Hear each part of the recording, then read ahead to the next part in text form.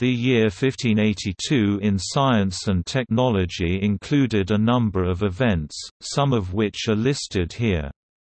This year sees the introduction of the Gregorian calendar, promulgated by Pope Gregory XIII in the papal bull Inter Gravissimas on February 24 and based largely on the work of Christopher Clavius. Under the Habsburg monarchy in Spain, Portugal and Italy, together with the Polish-Lithuanian Commonwealth, the year continues under the Julian calendar as normal until Thursday, October 4, the next day becoming Friday, October 15. France follows two months later, letting Sunday, December 9 be followed by Monday, December 20. Other countries switch in later years.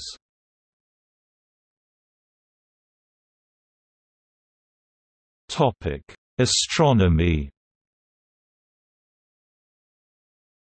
Giovanni Antonio Magini publishes the Ephemerides Ephemerides Coelestium Motuum.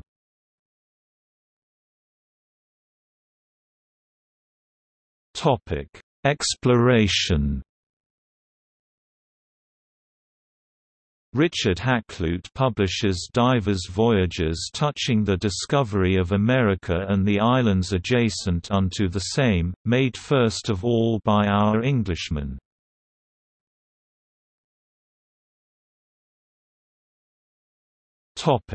Medicine Urbain Hémard investigates the anatomy of the teeth.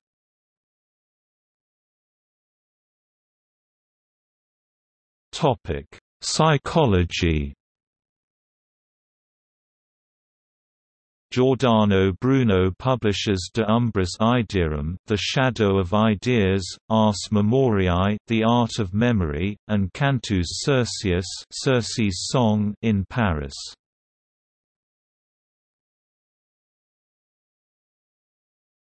Topic: Births. John Bainbridge, English astronomer, died 1648.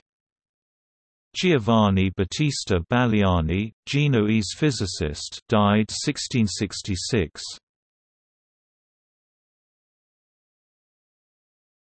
Topic: Deaths.